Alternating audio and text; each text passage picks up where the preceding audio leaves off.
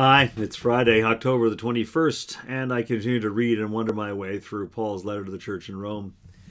Today it's Romans 12, 9 to 21. Um, I really sort of stopped right in the middle of Paul doing some really good preaching. Um, and uh, Paul invited us uh, to offer our bodies as living sacrifice, also uh, to use our gifts as part of the body of Christ. Um, Paul told us not to conform to the world. Uh, really good stuff. At least I thought it was good stuff. Loved it. And uh, Paul continues. I just didn't want to put it all into one meditation. So so here we go. We'll let Paul continue. Romans 12, 9 to 21. Let love be genuine. Hate what is evil and hold fast to what is good. Love one another with mutual affection. Outdo one another in showing honor. Do not lag in zeal. Be ardent in spirit. Serve the Lord. Rejoice in hope. Be patient in suffering and persevere in prayer. Contribute to the needs of the saints. Extend hospitality to strangers. Bless those who persecute you. Bless and do not curse them. Rejoice with those who rejoice. Weep with those who weep. Live in harmony with one another. Do not be haughty, but associate with the lowly. Do not claim to be wiser than you are. Do not repay anyone evil for evil, but take thought for what is noble in the sight of all. If it's possible, as far as it depends on you, live peaceably with all. Beloved, never avenge yourselves, but leave room for the wrath of God. For it is written, Vengeance is mine, I will repay, says the Lord. No, if your enemies are hungry, feed them, and if they are thirsty, give them something to drink, for by doing this you will heap burning coals on their heads.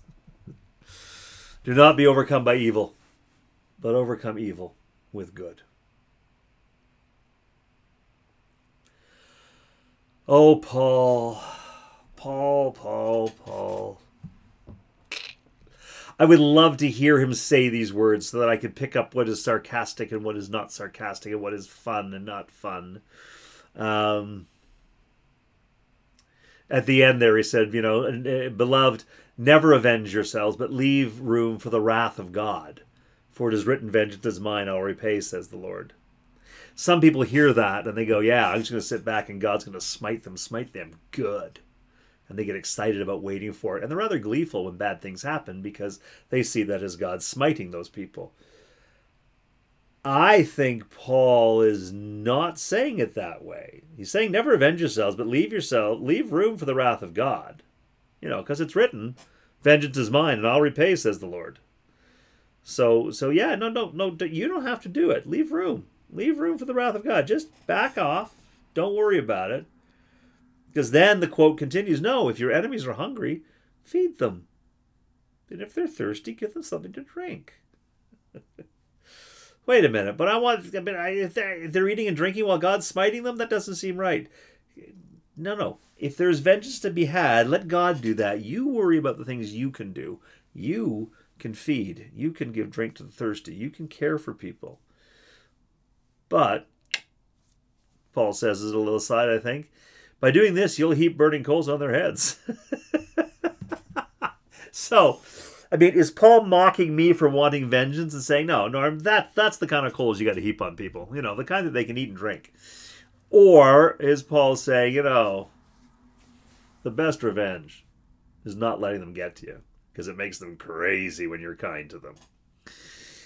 I'm not sure what Paul means by that. I have had occasions for me personally, but also I have advised people in communities when dealing with somebody who has become an enemy. Whether they deserve to be an enemy or not doesn't matter. They are a burr, they are a problem, they are a constant conflict, they are antagonistic. And I have said, well, let's just love them to death. What do you mean, love them to death? Well, we'll just love them. We'll love them so they change. Or we'll love them so much they can't stand to be around us and they'll leave us alone. It's worked. it isn't as immediately satisfying as smiting somebody, um, but it's worked. So I wonder whether Paul is talking about that same thing. I mean, that's the way you that's the way you you you you heap coals on, on their heads.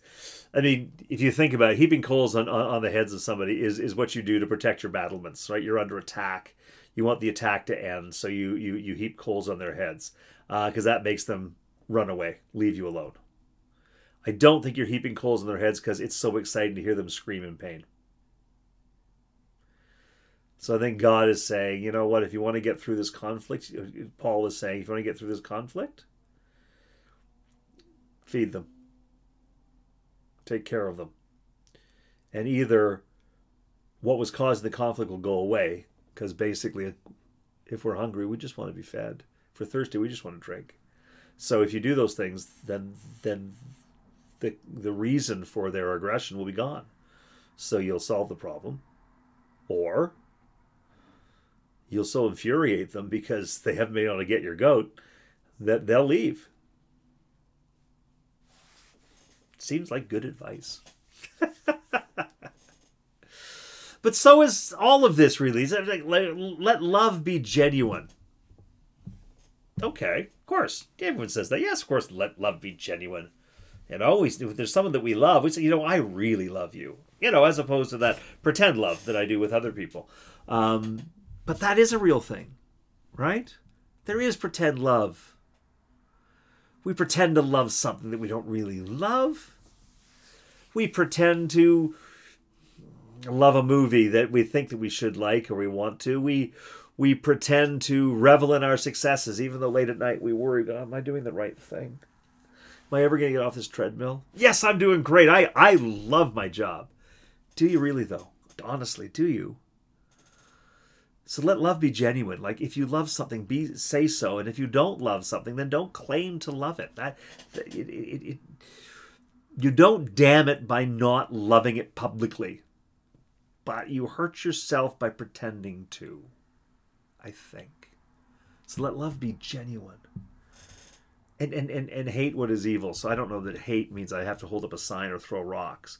But hate means I want to separate myself out from it. So those things that are evil, separate yourself out from them want to do the right thing, you know, just then separate yourself out from that which is evil and hold fast to that which is good. You know.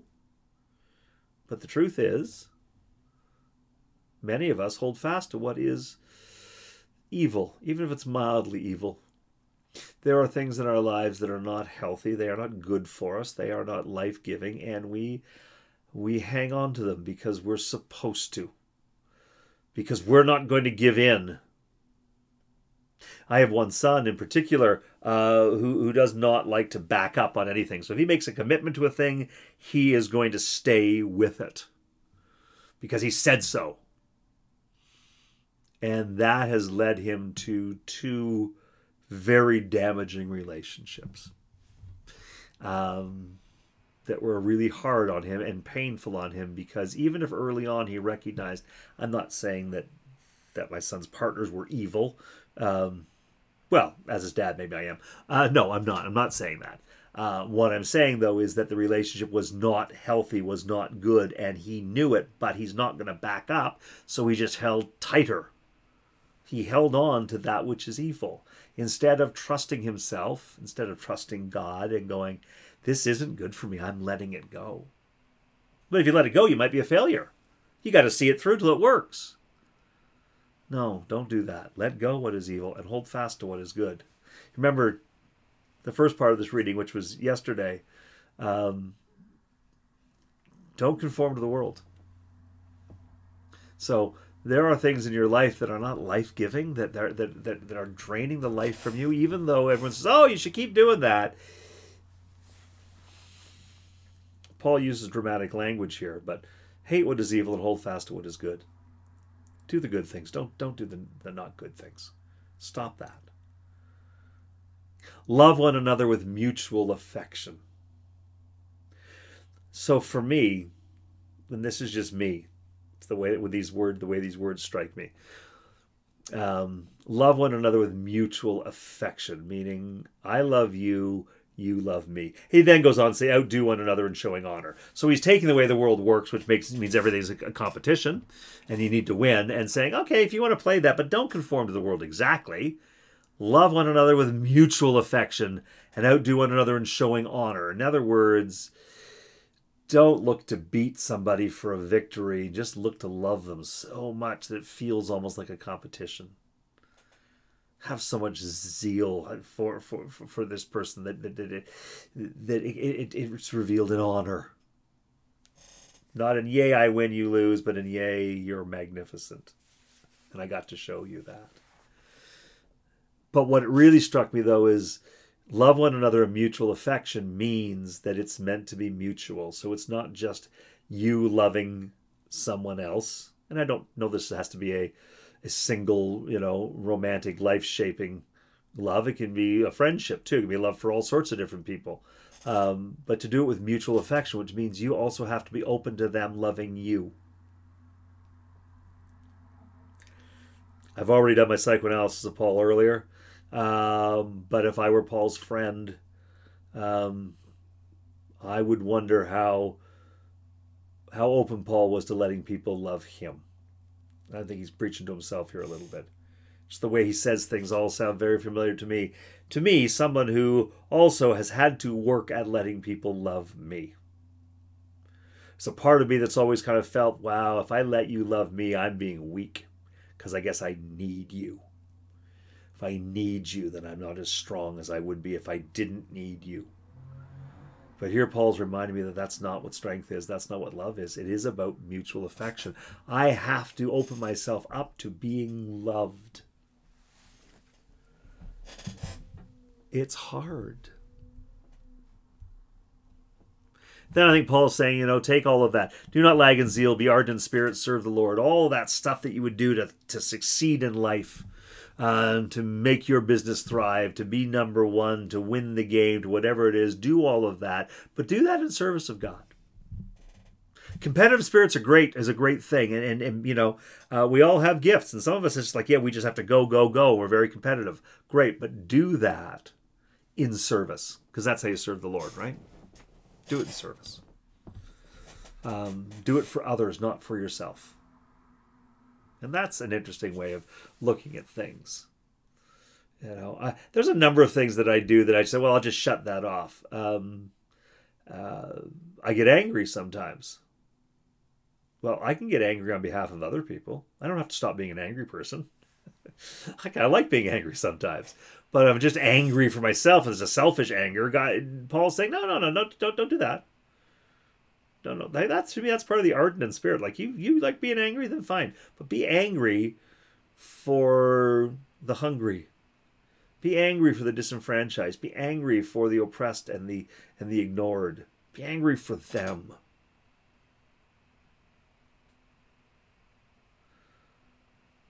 I, I remember being in, in a conversation. Uh, I, I have a, a, a role of, of some uh, authority uh, and a group was presenting to me um, it's, it's, it's, uh, on an issue. It doesn't matter what the issue is, uh, but the issue um, is very tied into racism and, and, and, and, and looking at trying to fix a problem.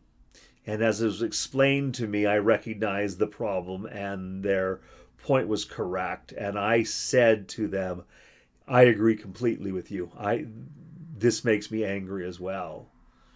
To which the person presenting said, I appreciate that, Norman, but I don't think you're angry enough.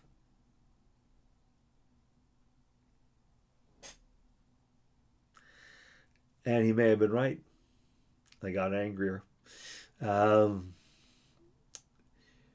but I think there's a place to use that, to use our anger um, and, and to use our energy and to use those things we have that those things that that that we have often used um, to succeed in the world. But as we stop conforming to the world, we can still use them. We just we reapply them. We refocus them. At least I think that's what Paul is saying. That, that that's how it strikes me. I love rejoice and hope. He says, "Be patient in suffering, persevere in prayer." These are the things that get us through hard times. When we find those things that are hopeful, we rejoice in them. We hold them up. We we recognize them you know um, and and and and where we're struggling we are patient in, in that we are waiting. We we we know we believe that we are not we were not created to, to only to suffer. Suffering is part of the plan for all of us. We all suffer at different times but that isn't that isn't the be all and end all of our lives. So we're patient in our suffering knowing that it is not forever. And we persevere in prayer which means to say for me anyway, persevere in prayer means you keep doing it. You keep praying. You pray when you are rejoicing and you pray when you are suffering. And most people I know do one or the other. Sometimes in my life I have switched being the person, you know, but when things are going great, I am praying, oh, I'm thanking God all the time. This is fantastic. God, thank you. I am in prayer. I'm in communication with God about it all the time. I am rejoicing in prayer. And then a bad thing happens, and then I find myself suffering, or people that I love are suffering, and I am angry at God and I stop praying. And then there are those, and I've often been this person as well, who is very good at, at, at praying in, in, the times of suffering when things are hard and i'm talking to god about it every day and i'm recognizing god in this situation and that situation and this is difficult but i can see god's presence and it assures me and sometimes i'm able to share that with others and and that's a good thing and then we have a great success and we want to have a great party for our great success and I am happy and I don't even think for a second, you know, I ought to thank God for this success. I mean, I don't necessarily sit there in the middle of the party going, "How I did all this," but I forget God's presence sometimes in those joyful, hopeful moments. Persevere in prayer is, an invitation for me to always pray in the great times, in the hard times, and in all the in between times. And then he says an obvious one: contribute to the needs of the saints. Saints are, are uh, saints are the people who are who are in the church. The faithful are the saints. Okay, they're not Simon Templar. If you're old like me, you know who that is. Um, they're not the white robed perfect people uh, in, in, whose name miracles happen. Um, no, what Paul just means is the church. So contribute to the to the needs of the church community. But Paul also adds, extend hospitality to strangers. Don't let it end there.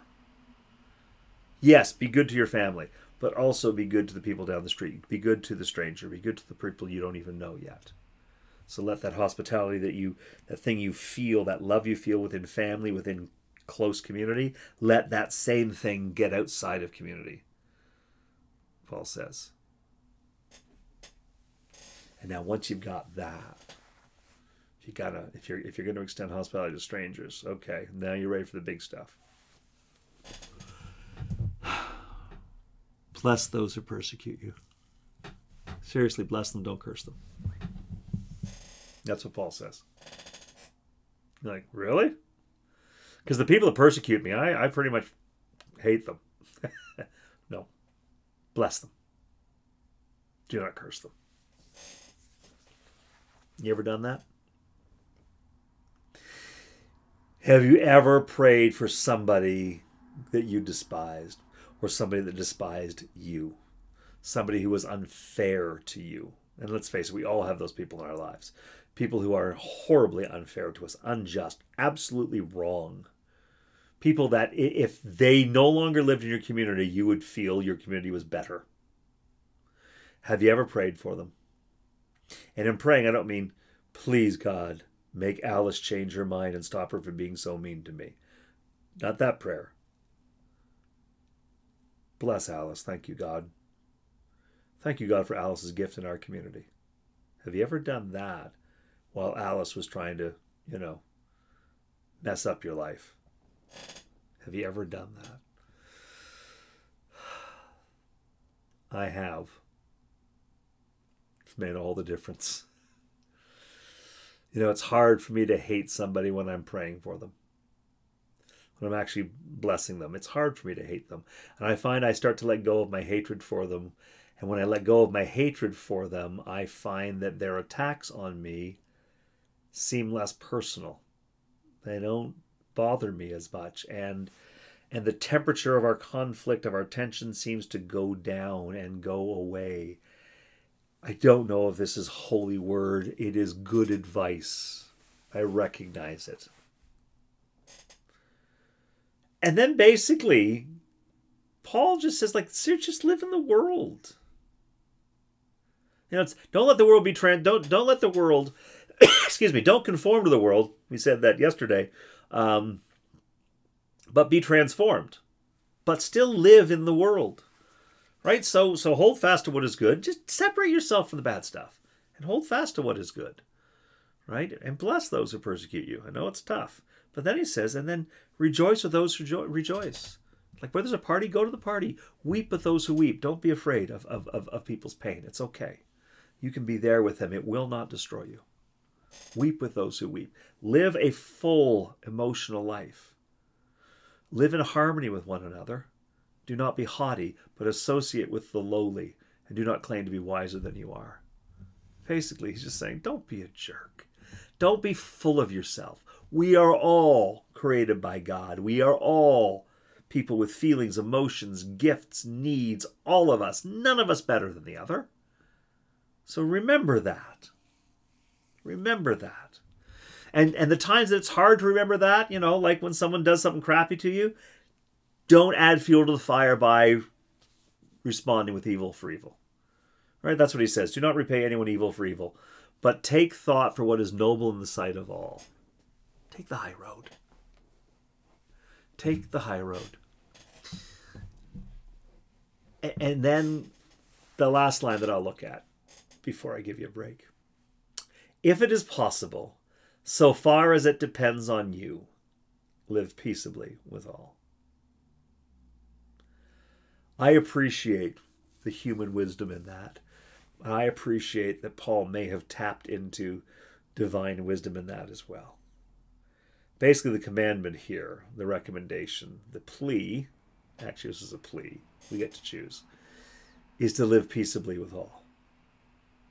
But Paul recognizes that sometimes that's impossible. Sometimes there's nothing you can do. If it's possible, so far as it depends on you. So if there is something you can do to live peaceably, then absolutely do it. If that maniac only wants to destroy you, okay, get out of their way. Get out of their way. Do what you have to do to make them stop. But if it's possible, live peacefully. I like that. Um, it not only invites me to a choice, but it invites me to apply myself. Because I'll tell you what I have discovered is that uh, I have I have been in situations with people where it was impossible to make them happy. It was impossible to to bring our conflict to get out of conflict. We were going to we were going to be in conflict until one of us lost. And and and and I have had that time that I could not find the way out, and so I have retreated but then later I've been able to come back and find a way to resolve the conflict because I now know more. I know more. I know more about myself. I now have more skills, more ability, more understanding, um, and so I recognize I have a role in living peaceably. It's not just like, oh well, can't be done, or yes, it's obvious it can't be done. No, no, I can learn. So it can't be done today, but it might be done tomorrow. And, and I want to keep coming back to finding that way that we can live peaceably, but also understand that sometimes it isn't possible. If it is possible, it says, yeah, which means sometimes it isn't. Which, of course, would just take me back to God grant me the serenity to accept the things I cannot change, the courage to change the things I can, and the wisdom to know the difference. It's a good prayer. Um, anyway, I have just basically just gone through this passage and preached it. I did not wonder about it as much as I maybe should have. But it's good preaching by Paul, and I just wanted to play with it for a while. So I'm going to leave it there. Um, and uh, yeah, I'm going to offer prayer. So let us pray. Loving God, thank you for this time of wondering. Let our wondering be genuine just as our love is genuine. Let us not pretend, but let us be honest with you, with our questions, our doubts, our joys. Let us never be afraid to rejoice or afraid to weep. And let us always, God, persevere in prayer. Let us keep talking to you. God, we ask that this time of wondering be a time of prayer, a time when we have been talking to you. We pray in the name of Jesus through the Holy Spirit. Amen. And with that, we will call it a week, and I will wish you a very, very good weekend. Please, this weekend, spend some time loving genuinely. Separate yourself out from the, the, the stuff that isn't life giving and just hold fast to what's good. Revel in it. And know that God is reveling with you. God bless you. Know that God sees you and God loves you. And know that the world is different because of you. God's love moves through you into the world. Have a great weekend, and we'll see you on Monday. God bless.